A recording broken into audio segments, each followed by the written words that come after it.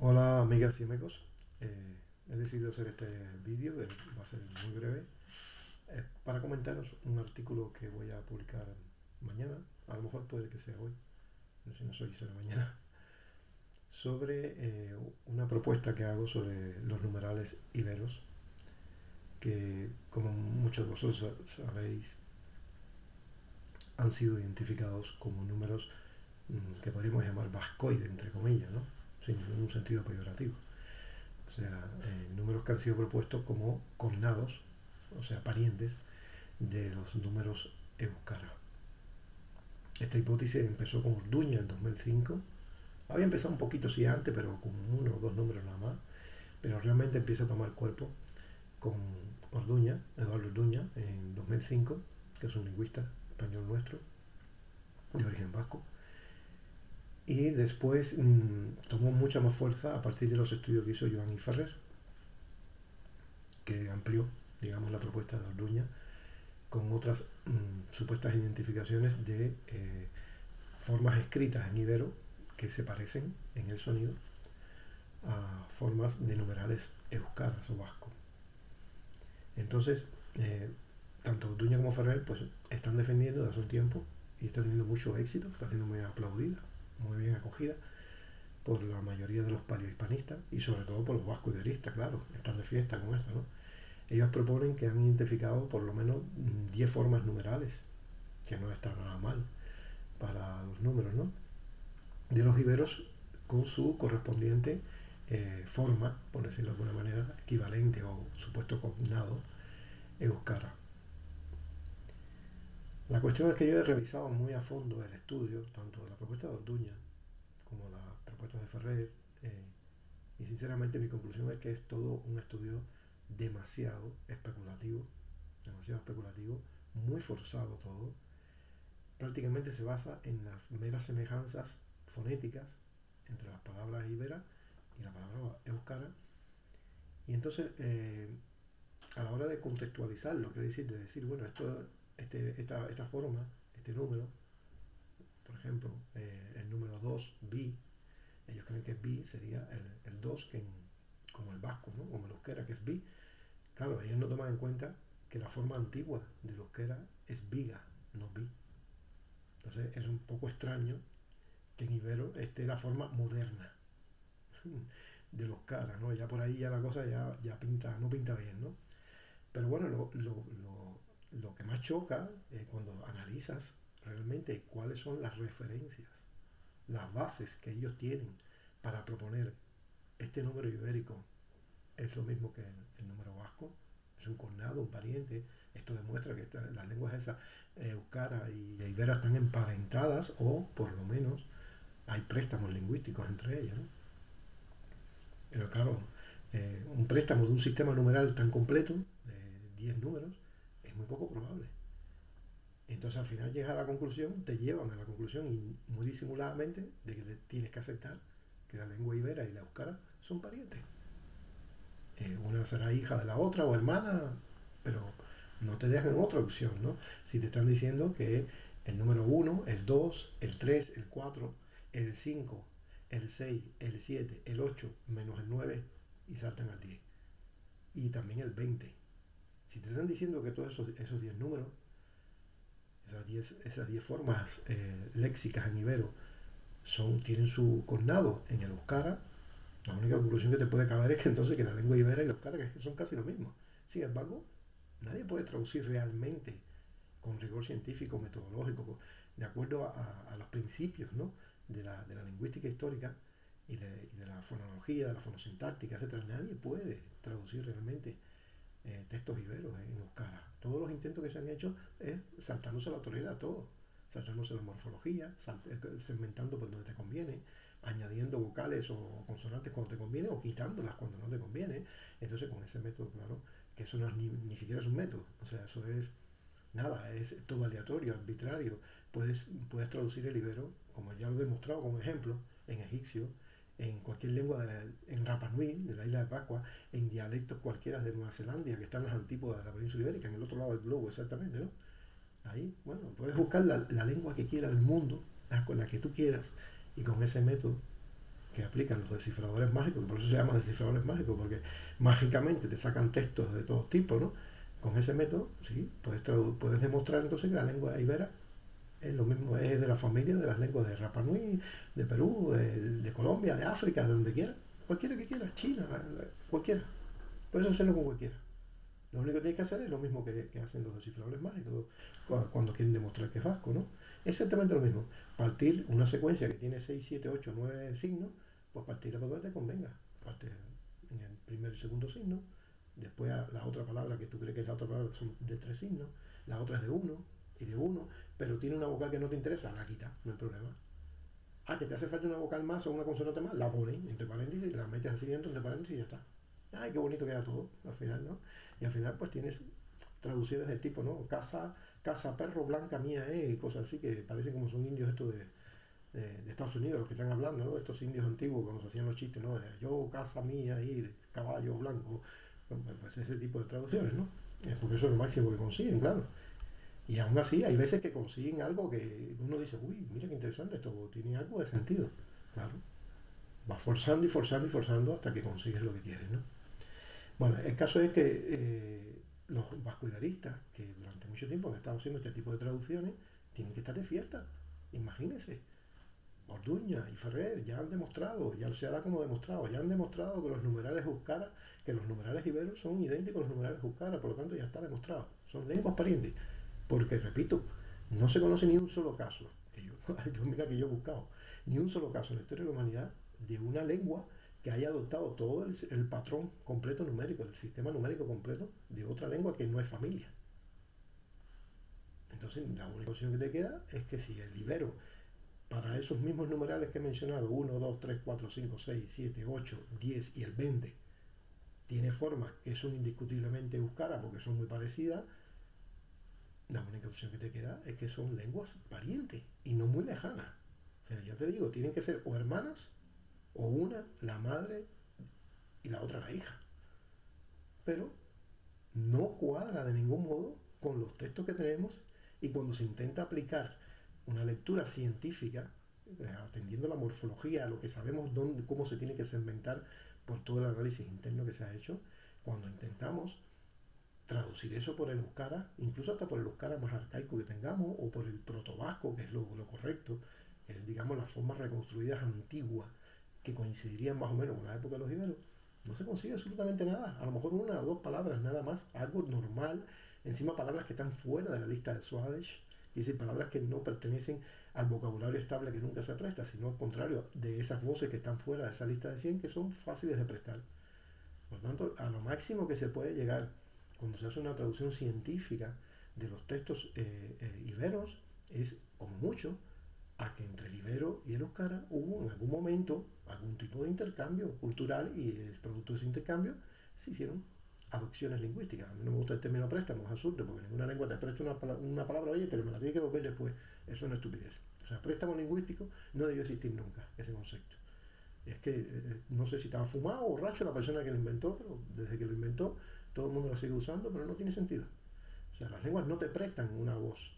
Es, es la otra la que adopta tu voz, tu término, porque no lo tenía, porque le gustó más o porque estaba de moda. Entonces las lenguas adoptan voces, pero no existe el préstamo lingüístico. Pero bueno, seguramente vamos a estar 100 años más hablando de préstamo lingüístico. Así que por eso sigo usando el término préstamo lingüístico para que ustedes entiendan de qué estoy hablando. O sea que esa, esas pocas voces que se pueden detectar con método científico, realmente científico, con respeto al método histórico-lingüístico, en las inscripciones iberas, que se parecen, incluso que no hay duda, que se ve que son lo mismo, que el término que se encuentra en un término buscara y por lo menos se ve que ese término antiguamente era así también, pues en esos casos se acepta, pero no van más allá de, por la cantidad que tienen tan mínima de pocos casos, de demostrar como mucho un contacto cultural donde se produjo adopción lingüística, que es el término correcto, no préstamo, adopción lingüística. O copiado. Hay algunas escuelas norteamericanas que se han dado cuenta del disparate del préstamo y están utilizando el término copiado. Yo tampoco me gusta mucho. Me parece más correcto adopción. Ya está, adopto. Pum, hago mía, adopto. ¿Me entiendes? Pero bueno, también se puede ser copiado, porque es copiar también, claro. Bueno, El caso es que mm, llevo mucho tiempo, no sé si cuestión de cuatro años puede ser, sí, porque estos estudios no, no son, de muy, no son muy antiguos, estoy hablando de 2005, 2009, 2010, y yo empecé hace como unos cuatro años a preocuparme por estudiar esto, a, a ver cuáles son las bases reales que tienen Ferrer y Orduña para defender. ¿Y cuál fue mi sorpresa cuando me encuentro que la mayoría de los casos de los números están basados en lo que se conoce en terminología científica unicum, del latín unicum, no debería acentuarlo, unicum, del latín unicum, quiere decir un único caso. En serio, en el artículo lo vais a ver. La mayoría está sustentada en un único caso, o sea, una sola, un solo caso entre los dos mil y pico de inscripciones iberas, un solo caso. Y con ese solo caso que encontraron de una palabra parecida a la palabra eh, euskara de ese numeral, ya está, se agarraron a ella y este, mira, es igualito, tiene que ser. Ya está.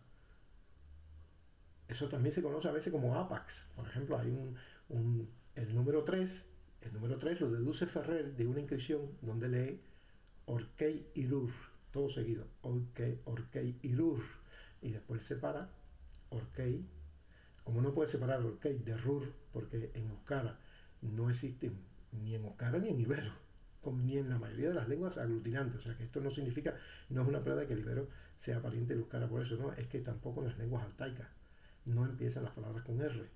Es algo que se extendió por toda Eurasia durante miles de años eh, una, podemos decir por un origen de una gran macrofamilia que sería el euroasiático o el nostrático, como se llama también, y una característica que heredaron todas las familias de ese tronco que se hablaba de una lengua que se llama entre paleolítico y neolítico, una, una característica que heredaron la mayoría de las familias de Eurasia, que es decir, de toda Asia y toda Europa, fue el no poder, no sé por qué razón, todavía no está muy claro, pero no tener palabras que empiecen por R, por vibrante. Entonces, en la, secuencia Orkeirur, que está todo seguido, escrito como una sola palabra, con puntitos de separación por detrás hacia otra palabra, con puntitos de separación por delante hacia una palabra que le precede.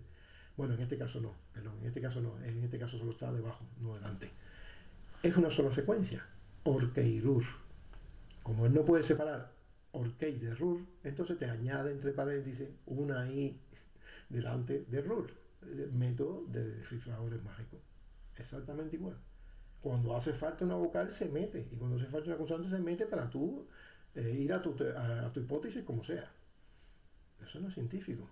Pero bueno, todo eso es porque como ya Orduña había dicho que Orkei, Orkei es lo mismo que el euskara Ogei, fíjense, Ogei que lleva una H delante y según todos los especialistas, los mejores vascólogos del mundo, las palabras vascas con H delante implican que llevan una consonante delante. O sea que la forma antigua tiene que haber tenido obligatoriamente una consonante delante. No puede haber empezado por O.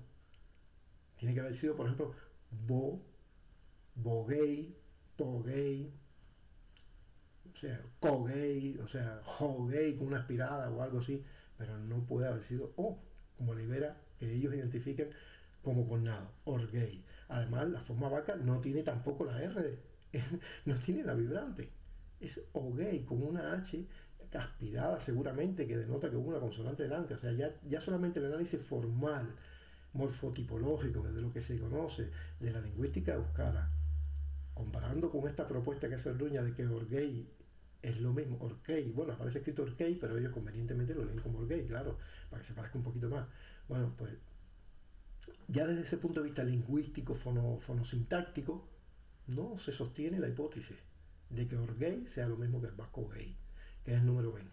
Pero bueno, en 2005 esto lo propuso eh, también por este tipo de casos unicum, aunque hoy tres, hay tres casos, aquí por lo menos hay tres casos y después lo veremos, ¿no?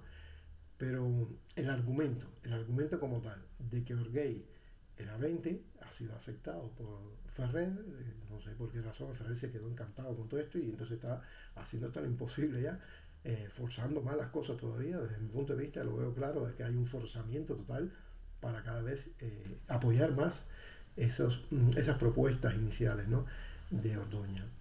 Entonces, como no puede, eh, él quiere quedarse con Orgay, pues obviamente le tiene que añadir entre paréntesis otra I detrás de Orgay para, que, para tener la palabra Irur, porque de otra manera les quedaba Rur y sabía que ningún paleohispanista se lo iba a aceptar. porque no existen palabras que empiecen con R. Es muy fácil verlo en, el corpus. Tú ves el corpus y no, no existe. Nada más que hay un caso o dos y se ve claramente que son palabras célticas o de aducciones lingüísticas que tuvieron los iberos de, una lengua céltica de otro lado. No son palabras propias de ellos. Entonces, claro, no, no hay problema, no hay problema. Le meto una I con un paréntesis delante y ya está. Y digo que la I se la, se la quitaron por síncopa. Entonces se, acude a una categoría lingüística que se conoce como un fenómeno lingüístico, se conoce como la síncopa, ¿no? que a veces se elimina una vocal para evitar una especie de redundancia, para que no hubiera dos i seguidas, ¿no? para que en el texto no quedara orque y irur, con dos, terminar la una en una i y empezar la otra en una i. Claro, este es el recurso también recurre mucho a ello, pero muchísimo, los descifradores mágicos. Cuando les conviene hay cinco para por todos lados, para poder justificar quitar vocales o, consonantes, porque si la adelante era terminaba de una manera igual, para que no hubiera repetición y tal, y así se van justificando todas las especulaciones. Pero la realidad es que cuando miras, revisas el corpus ibérico, ves que está plagado, pero plagado de dos A seguidas, dos G seguidas, dos I seguidas, dos O seguidas y dos U seguidas, todas las vocales, seguidas en montones de casos. Por lo tanto, ya ahí tienes la refutación científica de que la síncopa es un cuento chino que te estás inventando para tú ajustarlo a lo que a ti te conviene. No tenemos ninguna prueba, ninguna, sino de lo contrario, de que los iberos necesitaran de la síncopa vocálica y tener que eliminar vocales para que no hubieran dos seguidas, ¿no? Si la, evidencia lo demuestra es todo lo contrario, que probablemente jamás en la vida usaran la síncopa. Bueno, pues de todas maneras, todo esto está explicado en el artículo y con detalles, referencias para que todos ustedes puedan ir a la página, verificarlo, al corpus, ven que no me invento absolutamente nada, ya lo sabéis, que yo no hago eso. Eh, entonces, eh, volviendo a este tema, una vez que él tiene Orkey, que es 20, le queda RUR, pero como no puede, le añade una I delante, entre paréntesis, y tiene IRUR. Y entonces rápidamente se lo pone en relación con el número vasco IRU, que es con H otra vez, que demuestra que la forma antigua tiene que haber tenido una consonante, obligatoriamente delante una consonante, como mínimo una aspirada, que en el ibero no hay aspiradas. Hasta ahora nadie ha podido demostrar que en el ibero haya ningún tipo de fonema de aspiración. Por lo tanto, ya en eso ya es completamente diferente al euskara, donde sí se acepta que había un sonido de aspiración. Pero bueno, como mínimo debería tener una, una consonante. Digamos que lo esperable en un texto ibero no es, no es una forma como irur, bueno, la R final no debería ni tenerla, porque la forma euskara es Iru nada más, con H. Pero en Ibero, si realmente existía un cognado de ese numeral 3 euskara, que es Iru con H, aunque ya no la pronuncian, pero en la antigüedad seguro que se pronunciaba, o llevaba otro tipo de consonante como una B o una K o algo, Viru, Kiru, bueno, pues en Ibero, lo más convincente sería eso, que detrás del orkei sin tener que añadir ninguna vocal ni nada, si tú quieres poner que era 20 y 3, detrás del ok, lo que tuviéramos fuera un kiru o un viru, o un giru, ¿entiendes? Una consonante que puede haberse eh, aspirado en algún momento y ya después pasó como en el Oscar, ¿no? Se perdió esa consonante y quedó como una H nada más. Eso hubiera sido mucho más convincente porque es lo esperable, de acuerdo a la evolución diacrónica conocida de la fonética euskara y de las palabras y de cómo han sido reconstruidas. Eso era lo esperable. No un iru, un irur, que encima le tienes que añadirle ahí porque no está. Entonces, eh, esos son, eh, vamos a ver, en el lenguaje científico, esto no, no, no, lo sé, no lo sé realmente porque esto ha sido publicado en la revista Paleohispánica. ¿vale? La revista Paleohispánica es la mejor revista científica que tenemos especializada en lenguas antiguas paleohispánicas de la península ibérica. no hay otra, ya está. Es la única. No es que es la mejor, es que es la única, perdón. Es la única, porque, artículos sí se pueden publicar en otra revista, pero dedicada a las lenguas palespanicas es la única. Entonces es nuestra revista, vamos a decirlo de alguna manera, de revisión por pares científica, en la que ahí no puede publicar nadie supuestamente si no está revisado el artículo por una comisión. No sé si realmente eso se está cumpliendo o no. No lo tengo muy claro, ¿eh? Pero da igual, es una revista que se considera científica, no de aficionados, no de amateur, ¿no? Una revista científica. Pero yo dudo mucho que un artículo como el que ha hecho Ferrer y Orduña, porque no he mirado bien y es así, todos son especulaciones, forzando, cuando conviene quitas vocal, pones vocal, basado en APAX, esto sería un APAS, el IRUR, un APAX, para los que no lo saben, es un término que está documentado una única vez en todo, un, en todo un corpus de texto. Pues es la única vez, la única vez que se puede, que se, se documenta supuestamente aceptando que llevaras ahí que no está Irur. Es un APAS, no está ya en más ningún documento. Entonces, en cualquier revista científica de revisión por pares de alto calibre a nivel mundial de lingüística, yo no creo que aceptarían la publicación jamás de un artículo como este. No lo aceptarían. Porque no se puede construir una hipótesis en base a APAX y a casos unicum. Y eso es todo lo que hay. No hay más, señores. Cuando ustedes lo vean, verán. Entonces, con ese método uno puede hacer lo que quiera. Por ejemplo, yo hago una demostración en este artículo de cómo, buscando posibles formas de adjetivos partitivos, que decir segundo, tercera, cuarta parte, quinta parte, sexta parte, o sea, para las fracciones, que se llaman las fracciones, ¿no? los numerales adjetivos partitivos se le llama. Basándome precisamente en esto que veis aquí, a ver si lo puedo enseñar bien, es que la cámara, ahí, aquí, ¿veis que dice Serkir? Bueno, esa forma, Serkir, aparece en las monedas y sin ninguna duda, ya está más que claro demostrado, equivale a un sexto. A un sexto de ETA. ETA se supone que es la unidad monetaria. Igual que, bueno, aquí vemos un cuarto de ETA, dos cuartos de ETA, que se conoce con el término eterder, etc. ¿no? Pero la palabra ibera que define el sexto como adjetivo partitivo es serkir. ¿Vale? Según eh, la, morfología que conocemos de la lengua ibera, eh, esta palabra está compuesta por un sufijo como todas. El sufijo es kir. Entonces, ser es sei. Y ahí tenemos una evidencia de cuál es el número 6. Y esto no se parece a lo que había propuesto Orduña, que era 6 como en el vasco. O sea, S-E-I, 6. Porque en el vasco es 6. Claro, pero en el vasco está más que claro para la mayoría de los mejores vascólogos del mundo que es un préstamo de romance. Es un número que está en la mayoría de las lenguas romances 6. Ahora, que, que ese término no tenga nada que ver con el latín, vamos a ponerlo de alguna manera, pero tanto las lenguas romances, los derivados casi todos de 6, como en nuestro 6, ¿no? en castellano, y a lo mejor tenga un sustrato más antiguo, bueno, es posible, no se puede descartar a lo mejor esa posibilidad de que realmente fuera el vasco, con su término 6, el que, el que donara ese numeral a todas las lenguas romances, pero incluso hasta las que están un poco lejos de, aquí del País Vasco es un poco raro, ¿no? Pero bueno, vamos a suponer que sí. Pero lo curioso es que aquí tenemos claro que es ser el número 6, porque el sufijo es kir. El sufijo que forma partitivos, que forma adjetivos partitivos en ibero, es kir.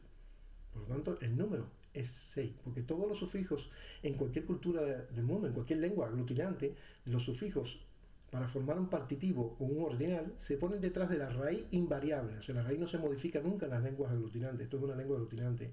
Esto no es una lengua flexiva.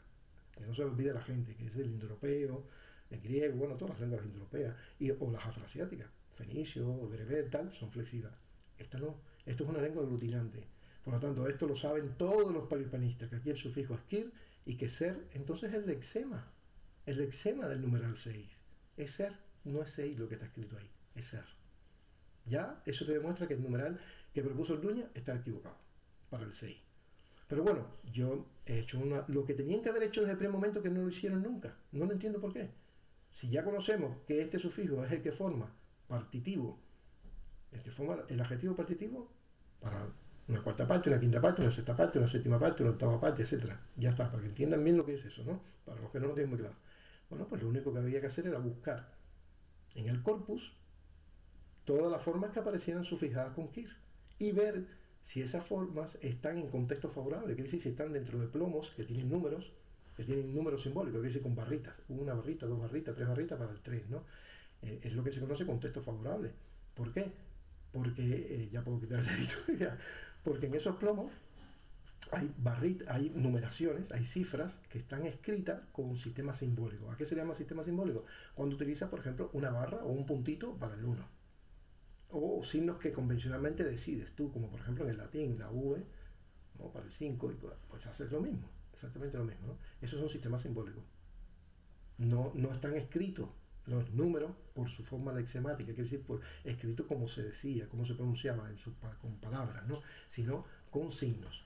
Bueno, todos aquellos plomos que tienen cifras numéricas y donde se ve incluso lo que se llama eh, anotaciones metrológicas, es decir, supuestamente pues, eh, medidas, eh, unidades de peso y tal, porque viene con, una inicial de una letra, siempre con una letra nada más, mm, que se supone que es la inicial de la palabra, que no se conoce, seguida de dos barritas, tres barritas, cuatro barritas. Bueno, cuando aparece todo esto en los plomos, se considera eso como un contexto favorable para el tipo de palabra que tú identifiques en ella si tiene que ver con lo comercial, con las transacciones, ¿no?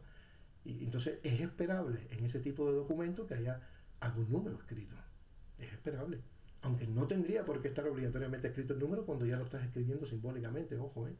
que en la mayoría de las civilizaciones en la antigüedad, cuando en un documento comercial te ponen la cifra simbólica, no aparece nunca el mismo número escrito, ni ningún otro número, ni cualquiera escrito en su forma lexemática. Pero aún así, ellos han aceptado, todo el mundo lo ha aceptado, todos los palestinistas, que es perfectamente normal que en un plomo donde el sistema que se está utilizando para, para indicar las cifras y la contabilidad es simbólico, que también a la vez sea lexemático. Y eso no es común. Es rarísimo. Es rarísimo. Yo invito a cualquiera que lo haga, que averigüe con los textos egipcios, con los textos fenicios, con los textos griegos antiguos, con cualquiera. Verán siempre que los textos de contabilidad, como de este tipo, si se usa el sistema simbólico, precisamente se usa por eso, por economizar espacio y tal porque es más rápido, más fácil. Usan rayitas, puntitos, una serie de sistemas simbólicos para escribir cifras muy largas incluso. No aparece escrito las palabras de los números que por lo general ocupan más espacio. Bueno, no sé, nadie se ha dado cuenta de esto, pero aún así, todo el mundo acepta como un contexto favorable, ¿no? Que el numeral salga dentro de ese texto donde están esos sistemas, esos números simbólicos. También se considera contexto favorable algunos textos donde no está claro si hay una cifra simbólica o no la hay, pero aparece una o dos palabras que sí se repiten mucho en los textos, con, en los plomos, con esas anotaciones simbólicas, numéricas, ¿no? Como son, por ejemplo, la palabra salir o vale. Hay otras que no me convencen mucho, como la de Baites. Baites yo creo que no tiene absolutamente nada que ver realmente con el léxico comercial como tal, es posible que tenga que ver algo con un testigo algo así, y entonces podría estar en cualquier tipo de documento, es lo que yo creo, incluso en documentos judiciales y tal, no necesariamente eh, en documentos de comerciales. Entonces yo Byte la dejo fuera, pero si me convence vale, vale, es igual que nuestro vale, un vale por tanto, está en, es así que está nada más, nada más, exclusivamente en documentos con números, con cifras simbólicas de esta. ¿No? Con una notación simbólica numérica. Entonces, si tenemos una palabra que nada más que aparece en esos plomos, como vale, ahí sí no tenemos ni la más mínima duda de que eso es un término del léxico especializado en el, en, el tema comercial y la contabilidad. Vale, es una buena palabra. O sea, si encontramos en un texto la palabra vale en ibero, incluso aunque sea un trozo de plomo donde no se ha conservado la parte donde a lo mejor estaban los números, casi seguro, al 99,9%, de que ese texto era de tipo comercial. Y lo mismo viene a pasar con Salir, aunque la mayoría de las veces que aparece Salir, aparecen esos textos con anotaciones numéricas simbólicas, por lo tanto, textos comerciales o de contabilidad, pero hay un par de casos, no muchos, donde aparecen textos donde no hay nada, absolutamente nada más, que te pueda llevar a pensar que realmente es un, un texto comercial. Pero bueno, también yo lo admito. Yo lo admito ¿por qué? Por la mayoría. La mayoría de casos que aparecen están en contextos comerciales. Yo creo que están más relacionados a lo mejor algo así como con valor, precio, venta, por ahí. Hay varias hipótesis. Plata, dinero, valor, precio también se aceptan como hipótesis. Venta. Yo creo que más, va más por ahí, por el valor o precio de algo. Más sobre todo comparándolo con conceptos que hay en todo el mundo euroasiático, eh, sobre todo altaico, donde eh, formas muy parecidas como salir o sari significan, igual que el vasco, precio, precio, valor, estimado, algo que tiene un valor muy estimado. Entonces, por ahí yo creo que va los tiros, ¿no? Bueno, el caso es que, eh, pues he hecho esto, ¿no? Me he puesto a buscar formas que terminen en kir, como aquí, ¿no? Que terminen en el sufijo kir. Y me he puesto a buscar, a ver qué aparece. Y resulta que encuentro una serie de, términos sufijados en kir que están, la mayoría de ellos, en contexto favorable. Quiere decir, dentro de plomos, con numeritos y cifras, o en las caras, mejor contexto favorable que ese ninguno, de los dados. ¿Por qué? Porque si tú tienes un dado con seis caras, un cubo, con sus seis caras, y en cada cara hay una letra ibera, la primera hipótesis siempre es que eso es un acrófono. O sea, el primer sonido de una palabra que, que, da nombre al número. Es decir, el primer sonido de la palabra que, del número uno. En la, cara donde esté el signo que corresponde al do, pues será eso, el primer sonido, la primera sílaba o la primera vocal de la palabra que define, el concepto que define al número 2. Eso por eso se llaman acrófonos, porque del griego acro, que significa extremo, punta, fonía, fonema.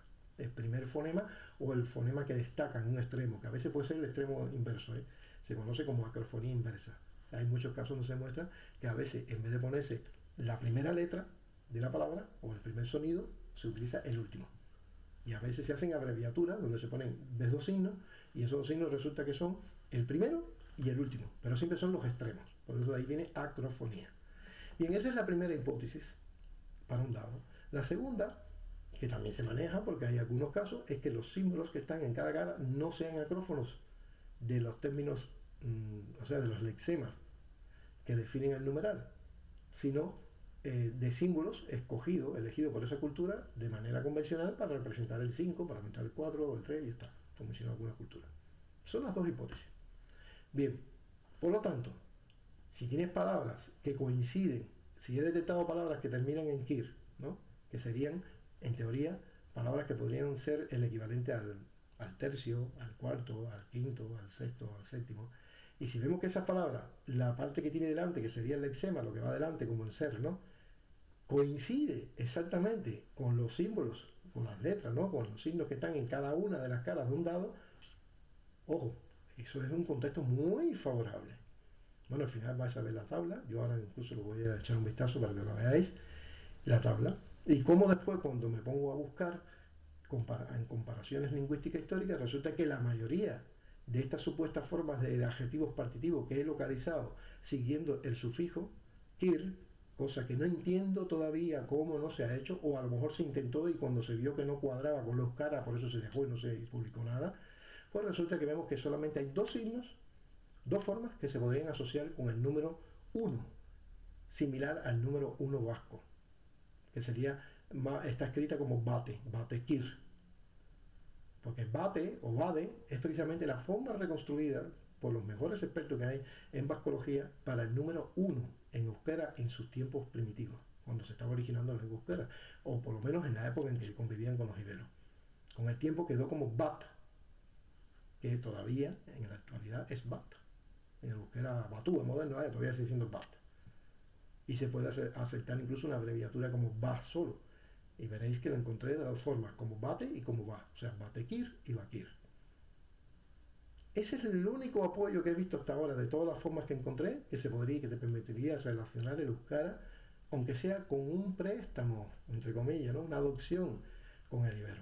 Pero el resto de las voces no confirman ni una sola de las propuestas que habían hecho Orduña y Ferrer sobre los numerales euskara.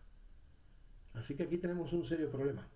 ¿Por qué? Porque mientras ellos se han basado en casos únicos y en APAX, comparando solo fonéticamente, incluso algunos de esos casos APAX o Unicum, están en textos que no son ni siquiera de contexto favorable. O sea, donde no hay ni un solo número, ni una sola barrita, ni nada. Entonces, mientras ellos se han basado en un método mucho más indirecto y especulativo, yo he estado trabajando con un sufijo que ya está confirmado por las monedas y las marcas monetarias y la posición en la que aparece equivalente a las latinas sextus de que es un sexto. Por lo tanto, yo he trabajado con algo firme, sólido. No es ya especulación. Y si, y si los posibles eh, adjetivos partitivos que yo estoy encontrando no coinciden, no confirman las propuestas que se habían hecho de numerales se buscara en base a casos APAX o Unicum, e incluso casos que no están ni siquiera en contexto favorable, yo lo siento, pero esto es una refutación. Esto es una refutación con más peso y con más solidez de las propuestas hechas por el Ferrer, por mucho que, aplausos que estén recibiendo y por mucho que esté siendo abrazado por los vascos iberistas. Esto que yo he hecho y este artículo que voy a publicar no lo pueden ignorar. Si lo ignoran, si lo ignoran es mero fanatismo por ideologías. Ya está. Pero un verdadero buscador de la verdad honesta, o sea, un, un investigador que mm, de una manera intelectualmente honesta busca la verdad, como siempre suelo decir, esté donde esté, sea quien sea, venga de quien venga y caiga quien caiga, tendrá que tomar en cuenta este artículo y esta investigación que he hecho. No la puede ignorar, no la puede olvidar, no la puede condenar al ostracismo y pasar de ella. Si lo hace, entonces no está interesado en la verdad, es un fanático que solo está interesado en una ideología, porque detrás de esto vascoiberismo hay mucha ideología, y lo sabemos muy bien. Aquí no nos vamos a engañar nadie. Aquí sabemos muy bien que hay mucha ideología detrás de esto, de esos vascoiberistas. Están los llamados vascoiberistas duros o radicales y los vascoiberistas moderados, pero hasta los más moderados, muchos de ellos, no voy a mencionar el nombre, se ha, se ha visto de manera muy clara qué es lo que están buscando. Hay una cuestión ideológica detrás de eso. Ya sin contar el tema del chauvinismo, que es normal y natural en la mayoría de los seres humanos, y como son descendientes de vascos, casi todos los vascos iberistas, obviamente están tirando para su tierra y quieren, eh, obvio, chauvinismo, ya está. El chauvinismo es casi ya algo natural, no es algo peyorativo, es algo natural.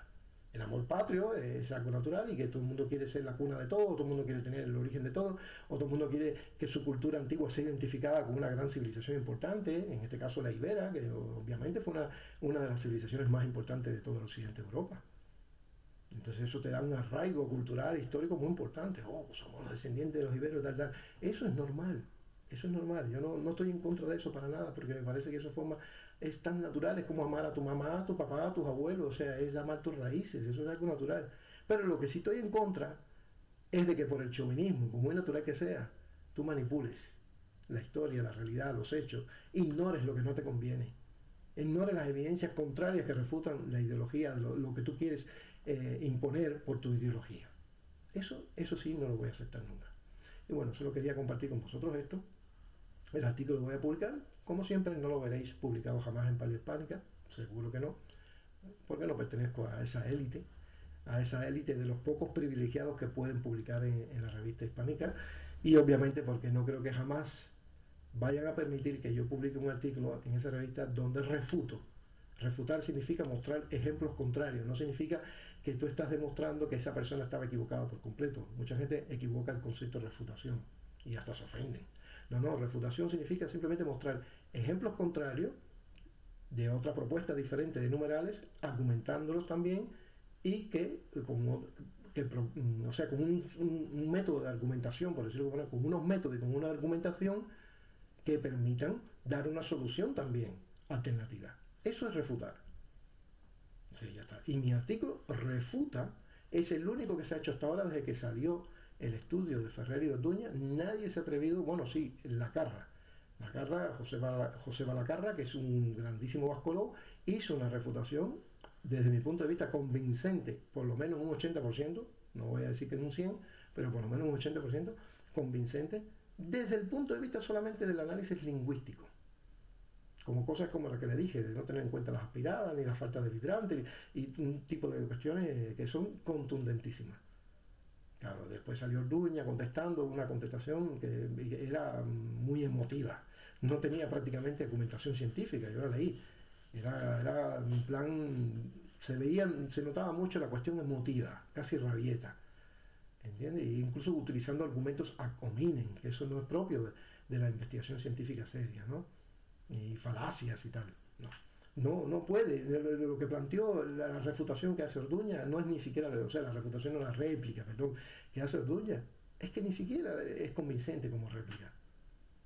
Todo lo reduce a, bueno, eh, ¿y por qué tiene que ser verdad lo que, lo que, lo que dicen los reconstructores, ¿no? los que reconstruyen las, las protolenguas, el protobajo, ¿no? lo, que, lo que es verdad es lo que aparece en la inscripción y, si, si, ellos se han equivocado, pues tienen que aceptar que lo que salió aquí es lo que es y tal. No, no, no es así.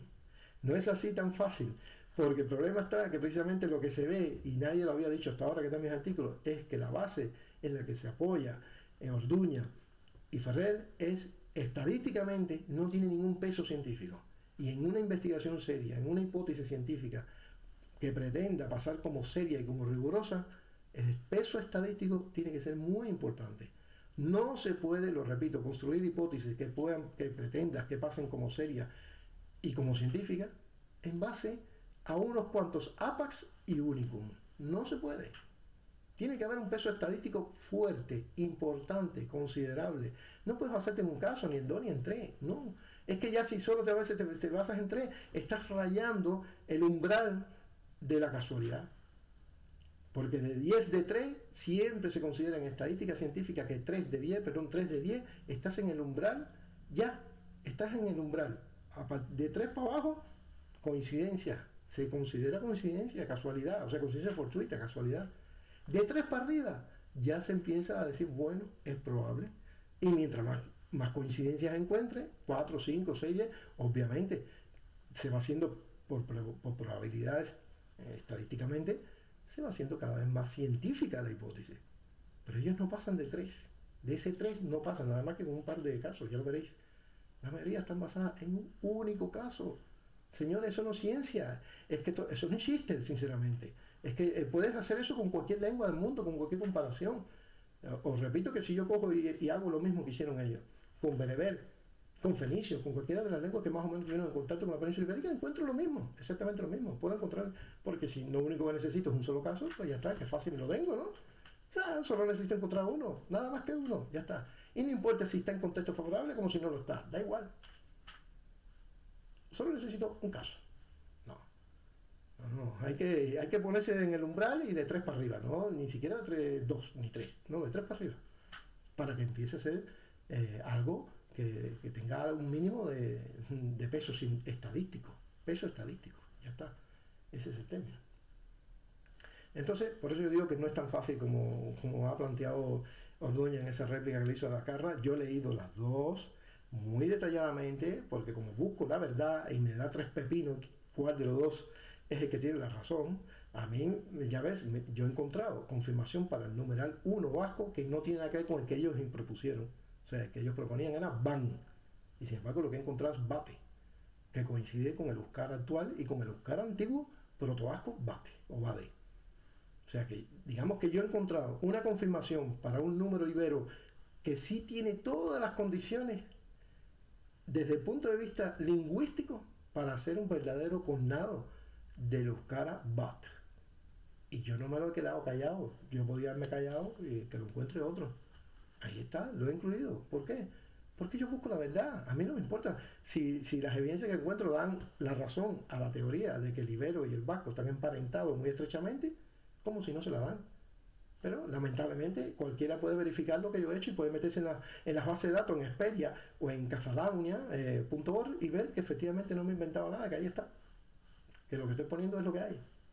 Entonces yo lo siento, cualquiera puede verificar que eh, buscando eh, potenciales eh, adjetivos partitivos con la terminación del sufijo kir que hemos visto aquí, ya sea con la R simple o la R mm, doble, vibrante, no, no están de acuerdo. Bueno, o la R compleja, hay dos tipos de R en el Ibero, pero en el Ibero se intercambiaban constantemente las R.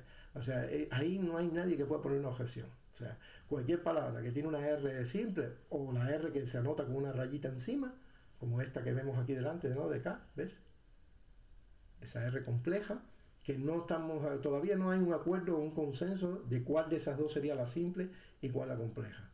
Hay quien piensa que la que no lleva, la que no se le pone el acentito es la simple, la vibrante simple, y que la que se le pone el acentito es la vibrante fuerte. Arre, ¿no? Pero no está claro. Como quiera que sea, lo que sí se demuestra cuando analizas el corpus ibérico es que se intercambia constantemente. O sea que para los propios iberos no había demasiada diferenciación, si no, no escribirían unos mismos términos, unas veces con, un tipo de R y otras veces con el otro tipo de R. ¿Ya? ¿Qué más pruebas queremos que esa, no? Por lo tanto, he, buscado, tanto como ser kir, he buscado palabras que tuvieran la sufijación kir, tanto con la R simple como con la R compleja, con las rayitas, ¿eh? con los dos tipos, para no dejarme nada fuera, ninguna posibilidad fuera. Es mejor abarcar la mayor cantidad posible, porque mientras más aumente la estadística, más peso científico va a tener. No es lo mismo tratar con dos casos con tres que con cinco, con diez, con veinte. Obvio. Entonces, vas a ver la tabla, que ahora la, voy a compartir. Un segundito. A ver, una pestaña. Vamos aquí. Ajá. ¿Veis? Bueno, esto es el, artículo como tal que, ya pienso publicar. Fíjense el título. Nueva propuesta de un sistema parcial de numerales ibéricos. La evidencia Serkir y la formación de adjetivos partitivos y posibles ordinales bueno, porque es posible también que también eh, marque los ordinales de alguna manera, mediante la fijo KIR o KIR como método para la identificación de numerales y la verificación de propuestas vasco-iberistas. Claro, cumple, el artículo cumple esos dos casos. Por una parte nos puede dar una lista de potenciales de acuerdo al sufijo, claro está, de potenciales formas de adjetivos partitivos y por otra parte nos sirve para la verificación. Porque si las propuestas de los vasco-iberistas, o sea, de Orduña y Ferrer, y entre otros, no son ellos los únicos, que, se están defendiendo, eh, o que en estos momentos está hasta la Wikipedia por todos lados, aplaudida por todo el mundo, de, esa, de esos supuestos numerales que van del 1 al 8 y después salta del 10 al 20, del 10 solo, perdón, y del 20 solo, no hay más números, esos 10 números en general eh, son connados del Euskara y son muy parecidos al Euskara y, y, se plantean como eso, como que están en relación con Euskara, bueno, pues entonces debería haber confirmación en la búsqueda de los partitivos, porque los, los adjetivos partitivos se forman sobre la base misma, la misma raíz del número, simplemente se le añade un sufijo para que ya ese sufijo le dé la categoría de, de, partitivo, de adjetivo partitivo o de ordinal. Por lo tanto, tiene que haber una confirmación obligatoria. Y sin embargo, veréis al final del estudio que no la hay. No la hay. Y repito, esto es más firme que lo demás, porque lo demás, repito, es especulaciones basadas solo en el parecido de la palabra y en algunos casos, no en todos, porque aparece en un plomo, donde hay eh, numeritos. Ya está. Que como ya dije, no es determinante, no es obligatorio, de hecho no es esperable que en un mismo plomo donde hay numeritos escritos simbólicamente, también haya palabras escritas, o sea, números escritos con, con su palabra. No es lo esperable cuando lo comparas con la costumbre de todos los pueblos de la antigüedad. Sin embargo, si es esperable que en un plomo donde hay notaciones simbólicas con numeritos de simbólicos, te encuentres escrito la forma del partitivo. Eso sí, porque estás hablando de la cuarta parte de tal cosa, la quinta parte de tal cosa. Eso sí es posible y eso es lo que encontramos cuando buscamos lo de Kir. Quiere decir que la forma que encontramos, terminada en Kir, sufijada en Kir, en esos contextos de plomo, sí es esperable. Lo que no es esperable es encontrar números escritos en un plomo donde ya los números están escritos de manera simbólica. O sea que como quiera que veamos todo esto, la hipótesis que yo propongo, o sea, la refutación que hago, es mucho más sólida y más firme que lo que ellos han hecho para reconstruir los valores numerales. Lo vamos a ver aquí. Aquí, bueno, en todo el artículo es completo, a un análisis completo de todas las propuestas y aquí vemos la tabla. Voy a intentar ampliarla, ¿no? porque si la amplío se va a salir. Bueno, aquí vemos, por ejemplo, he dejado fuera, eh, y eso lo aclaro en el artículo, ¿eh? porque hay que mantener un protocolo de mínimo de rigor. Yo no puedo hacer lo que han hecho mucha otra gente, que cogen hasta signos o palabras que están mal leídas, que hay varios autores que la leen de manera diferente porque está muy mal conservada y tú la agarras por la parte que te conviene. No, yo he dejado fuera toda aquella lectura que me que considero dudosa, quiere decir que se considera, no solo yo, dudosa. ¿Por qué? Porque según el autor cada uno lo lee de una manera diferente. Entonces, aquellas, aquellas inscripciones donde, la, donde no está muy claro el, eh, el, signo, está medio borroso o se puede confundir mucho con otros signos, y hay varias lecturas, y hay, o sea, hay tres, cuatro, cinco paleohispanistas que cada uno lo lee de una manera diferente, la he dejado fuera. No he dicho no, no importa, porque a mí me conviene una de estas lecturas, porque una de estas lecturas me encaja con lo que yo quiero, pues me quedo con esta una, con esta lectura de fulano de No, las he dejado fuera. Eso es una cuestión mínima, de mínima honestidad científica. O sea, aquellas, aquellas evidencias epigráficas, inscripciones, lo que sea, eh, en este corpus epigráfico que yo he encontrado, que plantean dudas, que la lectura es dudosa, las dejo fuera, incluso aunque me pudieran servir más todavía. Las he dejado fuera. Y para que no quede ninguna duda de que las he dejado fuera, y no piense la gente, ah, las habrá dejado fuera porque seguro que son de las que apoyan el sistema de, numerales euskaras propuesto por Otoño y Ferrer, pues no, lo vais a ver. Todas las que he dejado fuera, ninguna, ninguna de las que he dejado fuera apoya tampoco el sistema numeral vasco, eh, propuesto por, de, signos vascoides, ¿no? de numerales vascoides propuestos por Otoña y Ferrer. Simplemente las dejo fuera por eso, por el criterio de que no son convincentes. Y como no son convincentes las lecturas, pues las dejo fuera. Y estas son las únicas que están dentro de la categoría de lecturas claras, que nadie tiene duda de esa lectura. Entonces miren lo que tenemos. Serkir, que ya lo conocemos, que es el sexto. Después tenemos un tabikir. Cuando busco en todas las lenguas, en todas las familias de lengua, de Eurasia completa, incluso de África también, y para no dejar fuera nada, pues solo me sale eh, con Tabikir, lo más parecido que me sale, lo tenemos en el chubás, en el protomongol, que son lenguas altaicas aglutinantes, muy parecidas a las iberas en casi todo, en la fonosintáctica, en no tener R delante, en los sistemas verbal, en casi todo. Y vemos Tabat para el 5, digo para el 4, perdón, y para el 5 en el protomongol tenemos una forma Tagu. Podría ser cualquiera de esas dos, quizás. Yo pongo las dos, es el deber que tenemos que cumplir, poner las dos, las tres, las cuatro que aparezcan opciones. Después para el Otikir, lo más parecido que encontramos en el mundo entero de nuevo, qué casualidad. Volvemos otra vez. Lengua en el altaico. Yeti, yeti o yeti. Esa se puede pronunciar como una yeti, o sea, no un ye, ye, sino una vocal directamente, yeti. De yeti a oti no hay mucho problema lingüísticamente. Y después tenemos la forma 30 en el kazajo, que es otis. La, la S se puede perder perfectamente. O sea, esto perfectamente cumple con los requisitos de los cognados, de, fonéticamente de un cognado de una lengua. Que podría ser 7, por lo tanto podría ser séptimo, o podría ser, en base al 30, podría ser treintavo, yo voy poniéndolo como pregunta, la propuesta cuarto, quinto, séptimo, treintavo, y después nos encontramos la forma bate, bueno, sí, bate, batekir o bakir. Esto podría ser perfectamente una abreviatura de la misma de batekir. Primero, primera parte, ¿eh? reconstruido en euskera como badu. Bueno, es proto-vasco, pero no, me, para que no me cupiera puse euskara. Pero en el euskara normalmente es bat. Pero en el proto-vasco está reconstruida como badu. O sea, esta U eh, final no significa exactamente una U. Eh, puede ser cualquier vocal que no se puede precisar. Puede haber sido bada, bade, eh, por eso podría haber sido perfectamente, o sea, una forma ibérica como bate encaja perfectamente con el protovasco reconstruido. Sin embargo, la que ellos han propuesto van no encaja de ninguna manera. Pero de ninguna manera. Porque tú no puedes convertir, no puedes explicar etimológicamente y fonéticamente en la lengua euskara, tú no puedes explicar cómo una T o una D pasa a una N. O, como, o viceversa. O como una N pasa a una T o una D. No hay manera. Pero bueno, se han encaprichado en que es van, porque lo encuentran en las monedas, en las monedas de unidades, pero sí, está al lado de una palabra que es eta, y eta o eta es la que realmente representa la unidad, está claro. Por lo tanto, si, la, si, si hay un número ahí que a lo mejor tiene algo que ver con el 1, no es van exactamente, sino sería eta. Pero bueno, lo han puesto, esa es la base, esa es la base que tiene Ferrer, ya está, más ninguna.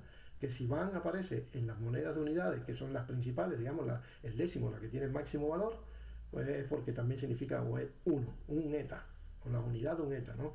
Vale, pero es que ha dejado fuera la posibilidad de que ese van sea un adjetivo, porque lo vemos por todas partes en los textos ibéricos, es tan abundante, tan abundante que es imposible que sea el número uno.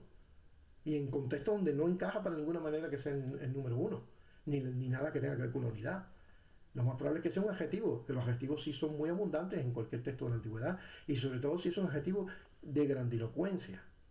Y da la casualidad que van se puede explicar en todas las lenguas altaicas, como un concepto que significa lo de máximo valor, lo más grandioso. entonces yo no lo veo casualidad, que esté precisamente solo en las monedas de máximo valor. Lo que te está indicando es ETA de máximo valor. Entonces, eh, aquí está claro que, bueno, que esta forma eh, tiene toda la pinta, esa forma reconstruida eh, coincide, coincide con la forma reconstruida para el protovasco. O sea que tiene muy buena pinta de que estemos ante el numeral 1 ibero y en este caso sí tenemos una buena evidencia de relación entre el ibero y el euskara, pero una evidencia muchísimo mejor y más convincente que la propuesta eh, como van por, eh, por Orduña y por Ferrer. Bien, seguimos. Tenemos aquí Teikir. Bueno, podría ser cuarto. ¿Por qué? Porque vemos que de nuevo en lenguas altaicas, que es donde único aparece lo más parecido, Toy. Toy Toy, con esa, este, este signo arriba significa que es un poco largo, Toy, Toy, puede perfectamente pasar en Tei, o viceversa, Tei pasar el Toy, claro, porque puede ser que el Ibero sea mucho más antiguo que, el altaico, no, lo sabemos todavía, ¿no? Eh, en principio, el altaico sería un poco más antiguo que el Ibero, pero es algo que todavía no sabemos. Podría ser al revés, que fuera el Ibero más antiguo que el altaico. Bien, después tenemos Belkir, o sea, Belkir, ¿vale? Qué casualidad. Tenemos también Belk, la forma reconstruida en el altaico para el 5. Y lo más importante que no nos olvidemos, ¿eh? fíjate, en verde, contexto favorable. Todo lo que yo marco en verde significa contexto favorable. Quiere decir que las formas que han aparecido en contexto favorable. Esta no es contexto favorable, quiere decir, puede ser pues una, vasija, eh, una inscripción sobre una vasija que normalmente no se considera contexto favorable. Entonces, por eso hay que ser honesto y ponerlo en la tabla. Pero sin embargo, fíjense, esta Bell está como acrófono B en el dado de Foscalanda. O sea, en el dado ibérico de Foscalanda tenemos una cara donde empieza por B. Y ya yo la había identificado con 5, con el número 5, mucho antes de hacer este estudio.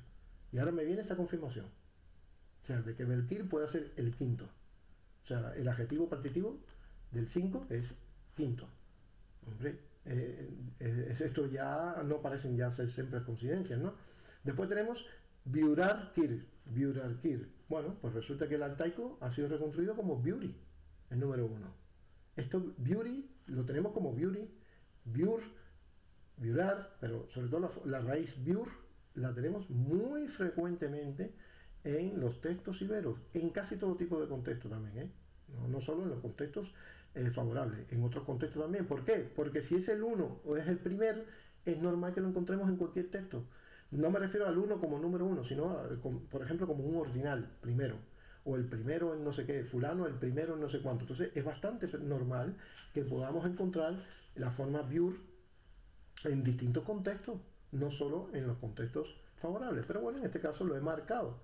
¿Dónde está? Y esta forma, esta en concreta, biurerkir, porque en las otras es solamente, digamos, la forma cardinal o a lo mejor la forma ordinal, pero en la forma, en la potencial forma de adjetivo partitivo.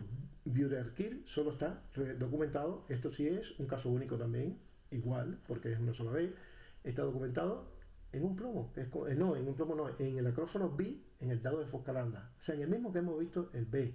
Aquí también acrófono TO en el dado de Foscalanda, o sea, eh, TO, perdón, TA, TA del dado de Foscalanda, o sea, ya vemos que en un mismo dado y si no me equivoco hay otro más, aquí también tenemos esta forma, usekir, que coincide con el altaico ush, kazajo ush, el saja y el yaku, que son también lenguas de mm, yakut, perdón, de lenguas siberianas pero eh, túrquicas, de las mismas familias túrquicas, también us eh, significa tres en los tres casos. Tenemos usekir y también lo tenemos como acrófono con signo, con un signo que Silgo ha leído, y parece bastante razonable, como un tipo de U, en el dado de Foscalanda, pero también en el dado de Numancia. Quiere decir, en los dos dados ibéricos que se han encontrado aparece el signo este que se puede leer como una U. Entonces, fíjense cómo aquí eh, tenemos eh, elementos, potenciales formas de partitivos, de adjetivos partitivos, que a la vez se hallan en contexto favorable como la primera sílaba, como la primera sílaba de la palabra, en la cara de dados, de dos dados que se conocen y en otro caso como también en plomos, o sea, no solo en los dados. Entonces, eh, por ejemplo, este aquí es un plomo, este, bueno, no, estas son las monedas, el kir. Es decir, que eh, hemos encontrado pues unos cuantos, ¿vale? No son muchos, porque he dejado fuera, repito, he dejado fuera por lo menos, si, mi cuenta no me falla así en memoria, cuatro o cinco más, por lo que os he dicho. Porque como están en textos que tienen varias lecturas, y se consideran dudosos, pues la honestidad científica aquí nos obliga a no tenerlo en cuenta. Otros seguro que lo pondrían, porque si los pongo, tengo hasta más pruebas todavía si los pongo basándome en una de las lecturas, precisamente en una de las lecturas que se considera más verosímil, incluso en las lecturas que están documentadas en la base de datos Xperia, que es la que te ponen, quiere decir que se supone que es la que ellos aceptan como la lectura correcta. Si yo me hubiera utilizado también esos casos que he dejado fuera, a pesar de, ese, de, esa, de esa decisión de Xperia, de que la lectura que ellos ponen debe ser la correcta, tendría ahora incluso más pruebas todavía a favor de la relación del ibero con las lenguas altaicas. Y ninguno de ellos apoya la, propuesta que se han hecho de numerales euskara en el Ibero. Pero lo he dejado fuera por lo que he dicho, porque es mi deber dejarlo fuera cuando veo que hay otros autores que dan otra lectura y que no tienen por qué estar equivocados. ¿Entiendes?